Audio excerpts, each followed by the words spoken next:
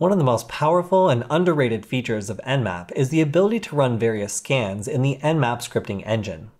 We'll explore this and how to create your own Nmap scripts in this episode of Cyber Weapons Lab.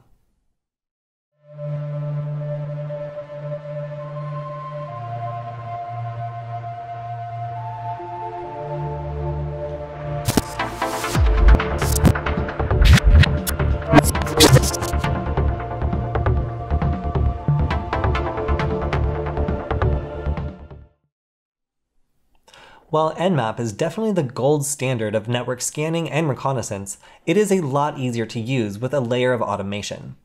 Now, if you want to try this, you can always run an existing Nmap script in the Nmap scripting engine. And this is really useful for automating certain things you might do all the time. But if you really want to be a effective hacker, then you should learn how to write your own scripts. And it turns out that they're fairly easy to write because they're done in a language called Lua, which is both common and pretty easy to work with. Now we're going to do our own example, which simply checks to see if a port is open. But you can get as creative as you want with writing your own rules and triggers so that you can tell the script to do whatever you want and maybe automate things that you do on a daily or maybe weekly basis. Now, if you want to get started trying this, you'll need to have Nmap previously installed, and you can go back and see one of our previous guides on doing this so you can see how to set it up. Once you have it, this should be cross-platform. So as long as you can follow along and open up a script in a text editor so we can write in Lua, then you should be able to follow along with this guide. Once you have uh, Nmap ready to go, then we can begin. To get started with the Nmap scripting engine, let's take a look how it works before we modify anything at all.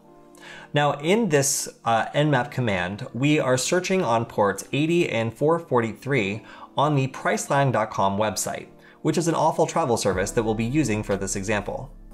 Now here we can type tactac script and then indicate any script we want to run here. And we can just do this by name, we don't actually need to go and indicate the whole file path.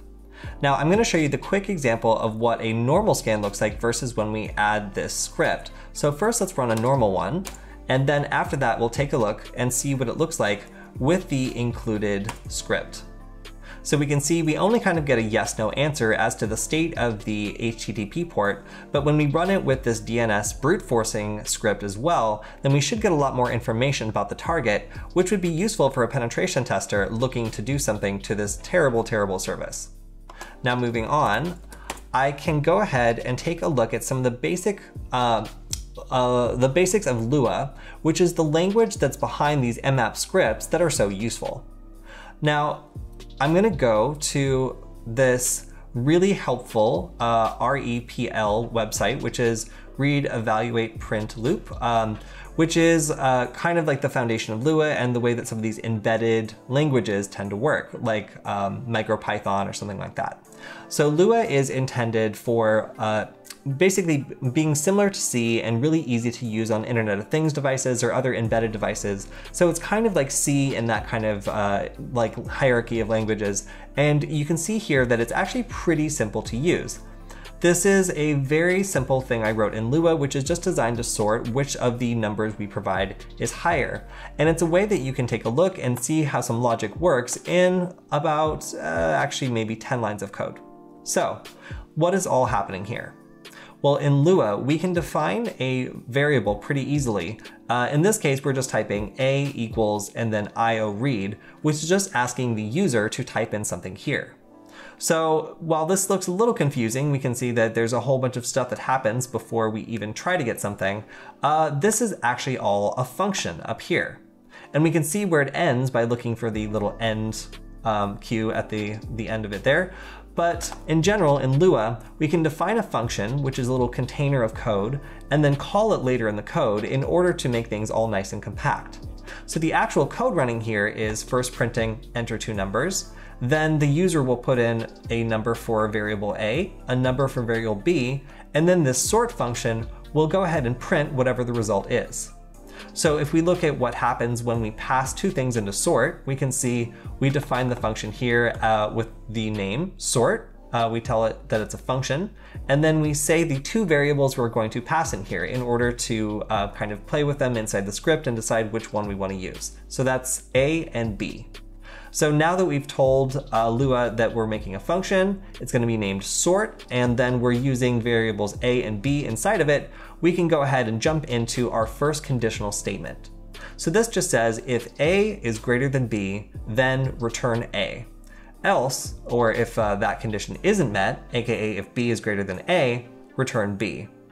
And then we end the function. Now what actually happens is if we return A, then it will go ahead and print A, and if we return B, it will go ahead and print B. So this is a really simple kind of sorting uh, script that we can run and see that it asks us to enter two numbers. We'll do four and 6,996. And you can see which one is larger. Now, this is a very, very simple Lua script, but I just want to show you how, how easy it is to write something in this language. And if you want to do something very simple, like check to see if a port is open, then it's relatively simple, uh, simple to do this inside a Lua script. So let's go ahead and look at an example that will actually work with Nmap. Now I'm going to go ahead and go to this nano window I have open, and this is our example that we are going to be working with today. Now I'm naming this uh, testy.nse, and that stands for Nmap Scripting Engine. Now, in the Nmap scripting engine, there's a couple of different uh, scripts. There's a couple of different pieces that you'll need to be aware of. First is the head, which is basically responsible for the metadata and explains all the information about what the script is for and who wrote it. Next are the rules, and this is where you kind of set all the conditions that the script will test for. And these are kind of, uh, I think of like triggers, which then you can attach an action to later on. In the last section, actions, you can attach pretty much whatever you want to the rules or triggers that you set in the rule section. Meaning in this example, we're going to be looking to see if the port is open, and then if it is, we're going to be returning an action, just printing this port is open. Now this is a really simple script, but let's take a look at what it's doing. First, it's establishing a port rule, which means we're doing something based on the status of a port. Then we're passing in the host and then uh, the port number of the particular scan we're running. And then depending on whether or not the port protocol of TCP is listed as open, we'll go ahead and pass that to the second part, which says this port is open if that is true. Now, this is a very basic example and is pretty redundant because we'll generally get to see if this is open or not anyway, but it still gives you an example of how these sorts of things are created with a rule and then an action. So you can see how Lua is kind of structured and then make up some of your own ideas for how you might want Nmap to work for you. Now to save this, I can press Control X and we're going to need to go into this folder here, user, share, nmap, and scripts, in order to save this file and make sure we can access it via nmap. And if you're curious to see what else is in here, we can type ls once we're inside, and wow, there are a lot of different scripts that we can use with nmap. And many of these are very useful, so I encourage you to check these out if it's something else that you're interested in, or if you want to draw some inspiration from one of these scripts for your own Lua script. Now let's go ahead and run that original command, only this time we'll use one that we did ourselves. I'll go back to my other terminal window.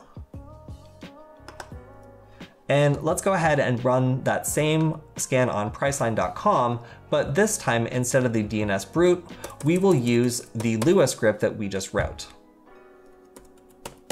Now we don't need to do the dot uh, uh, nmap scripting engine here, we can just go ahead and write the name of the script since it's in the correct folder and nmap should know where to look for it. And there we go.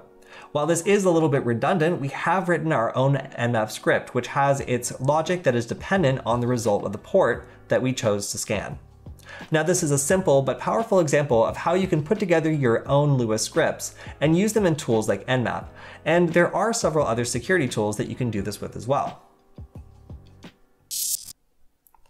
As you can see, Lua is a simple and easy language to work with, and it's not just applicable to Nmap scans.